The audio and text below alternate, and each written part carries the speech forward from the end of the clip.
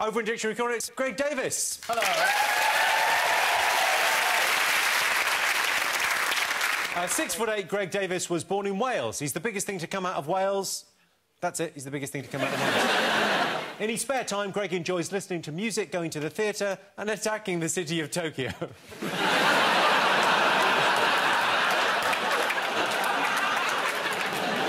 Greg, you recently holidayed in Las Vegas. Do you have a good time? Do you enjoy it? No, I thought it was an awful place. I think it should be razed to the ground, tarmac, turn it into a massive car park. It's awful. Oh, God. I'm going there next week. I mean, this conversation could not be going worse for me.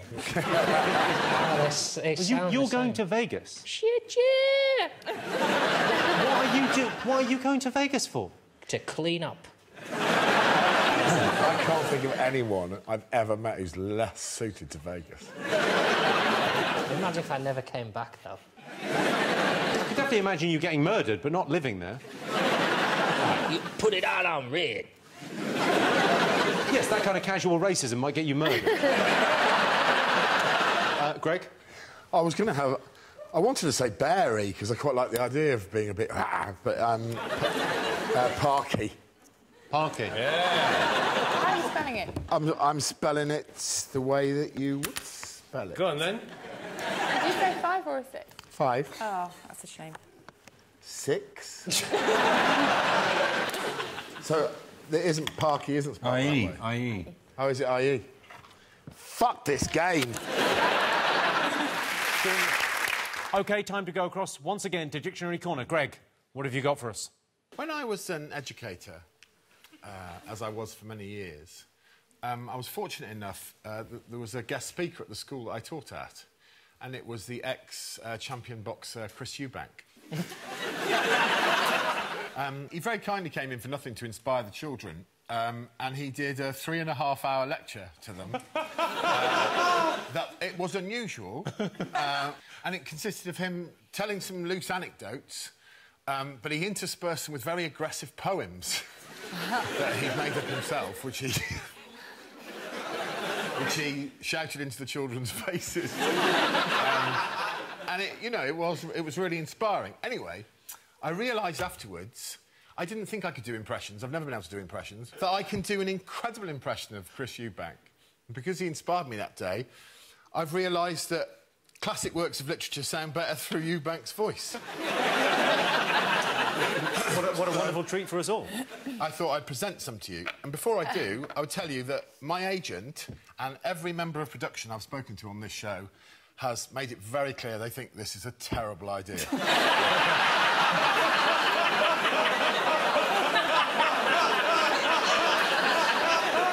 That's coming after jumping on people.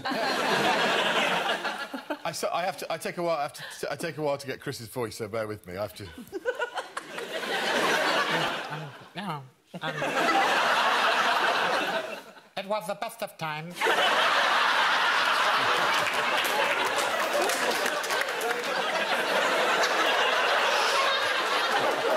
Please, a little bit culture, please.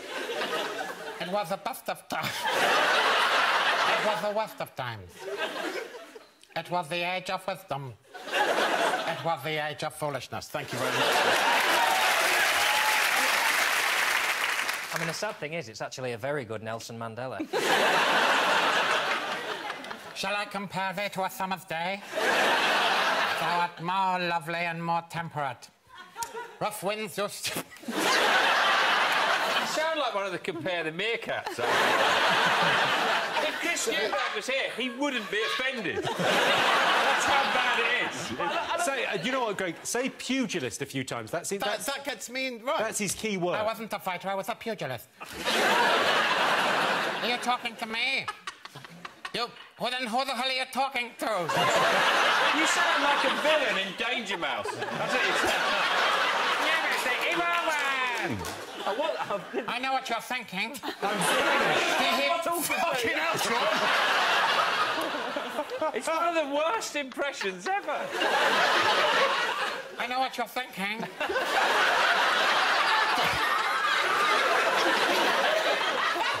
Did he fire six shots or five? well, tell you the truth, it... no, there's excitement, I kind of lost track myself.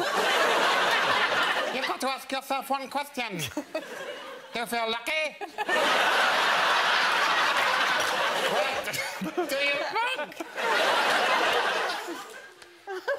My name is Maximus.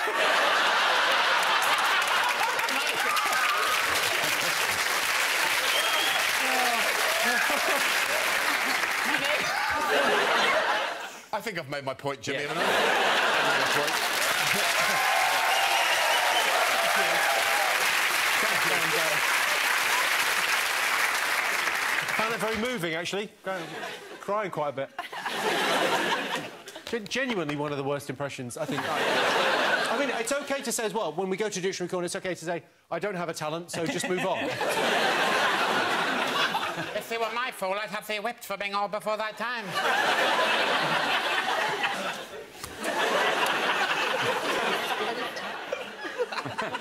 Oh, God, again. I'm so sorry, it's so unprofessional. What you're doing is unprofessional. That's professional. you call that professional? I mean, literally two hours ago, I was speaking to my agent, and he went, I don't know, Greg, is it that good, your impression?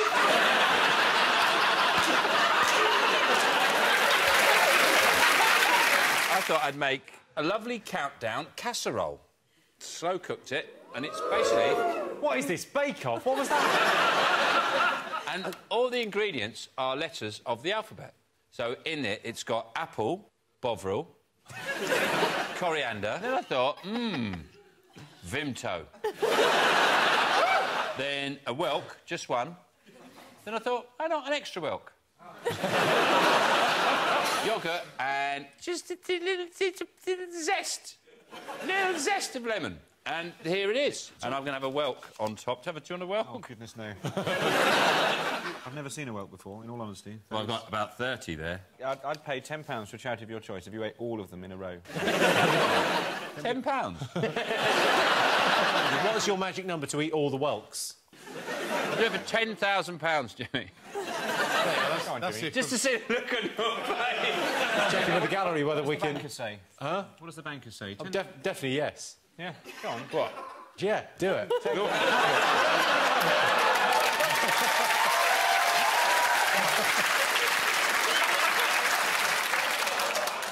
You sure?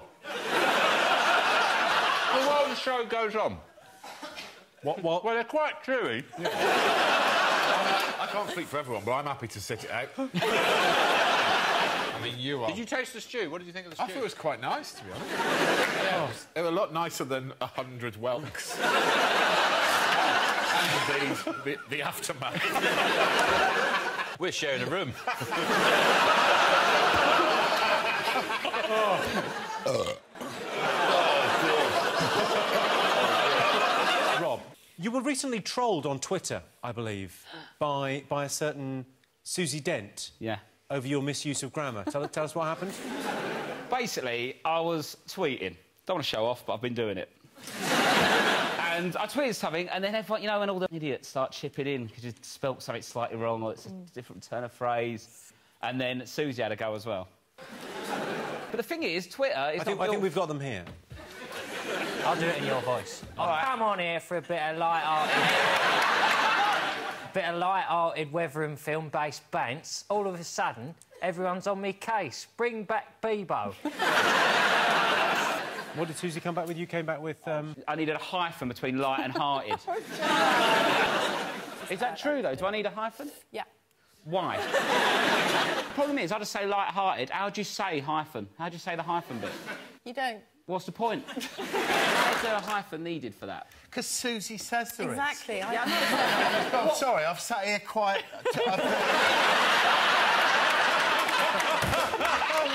Never question Dent's authority when I'm on this team. That's the first thing. Any more jokes about Dictionary Corner being boring, someone's going to get fucking hurt.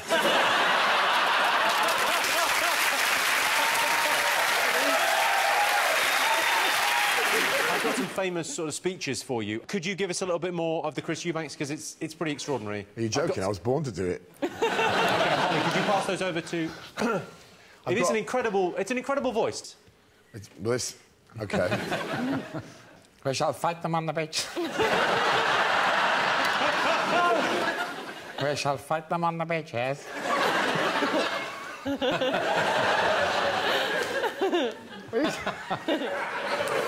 We shall fight them on the landing ground. We shall never surrender. It's good, but I feel there's more. Now it's the winter of our discontent. Made glorious summer by this son of York. Why are you making me do this again? I really like it. It does, it does sound brilliant, but you're not, you're not the only person that does a brilliant Chris Eubank. I've got someone here who does the voice, I mean, pretty bloody well. Ladies and gentlemen, please welcome Chris Eubank.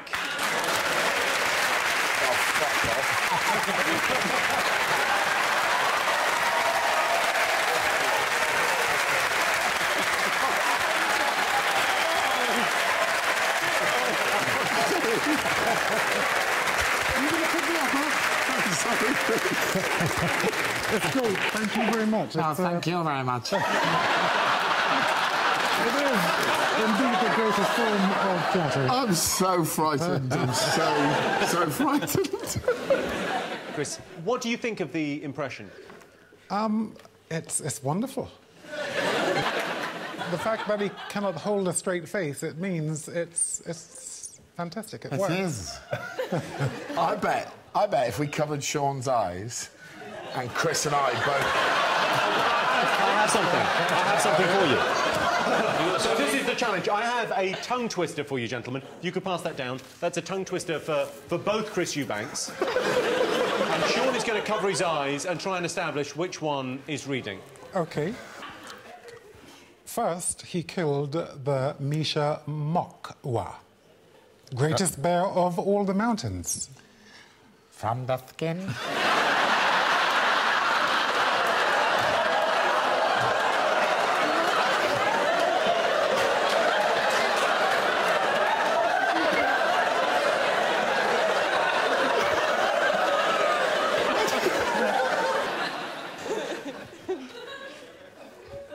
It's okay, so the other guy has a go. From the skin. He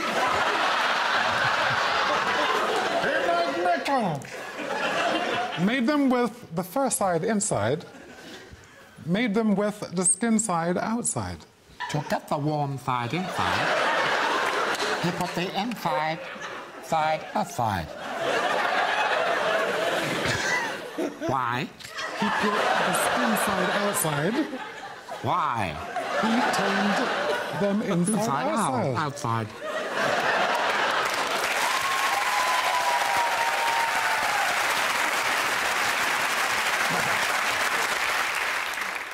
Who was that?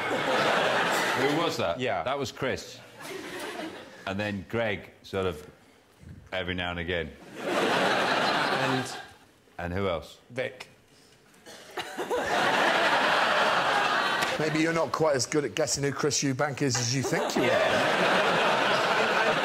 Ladies and gentlemen, Chris Eubank, everyone.